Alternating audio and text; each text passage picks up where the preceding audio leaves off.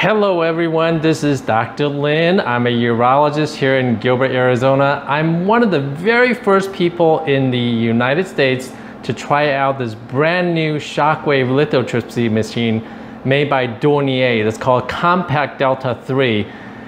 I've been using the Delta 2 for many, many years and we've had excellent results. This, this new unit has some nice added features that I think will improve the effectiveness and the efficiency in treating kidney stones using shockwave lithotripsy. So let me uh, just show you real quick on here. Uh, you will see that the uh, control unit is pretty much the same. This is the uh, fluoro unit. major improvement right here, touchscreen, and the hand control unit is integrated. It's one piece, so you can control the table and the fluoro head um, through this one, one unit here. And also this is how you start the treatment. Uh, you also will have uh, the various controls for the uh, imaging and everything like that on, on the hand unit.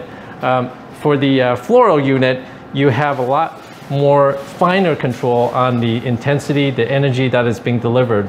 So this is all on a uh, touchscreen panel here. Uh, on the actual treatment unit, it looks pretty much the same as, as the old unit. You do have this fancy lighting, floor lighting, all around the machine here. All right. One major improvement, a couple of them. Number one, the EMSE unit is larger, which allows a 20 uh, millimeter uh, greater penetration, a deeper penetration, so that you can more easily treat the larger patients. In addition, there's something called the OptiCouple. Uh, they have integrated uh, light and a video camera in this treatment head, which allows you to look at the coupling between the treatment head and the patient.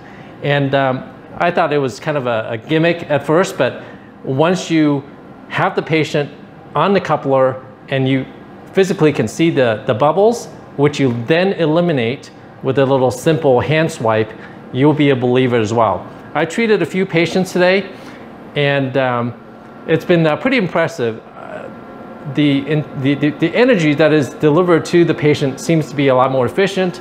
Um, I'm able to use lower energy settings on this EMSE head, EMSE head, and treat the stones with greater fragmentation. So that means less wear and tear on your EMSE head with less, potentially less treatment time uh, to fragment the same type of stone. So anyway, I'm not being paid to uh, make, this, make this video. If you have any questions, put them in the comments below. I look forward to hearing from you. Take care.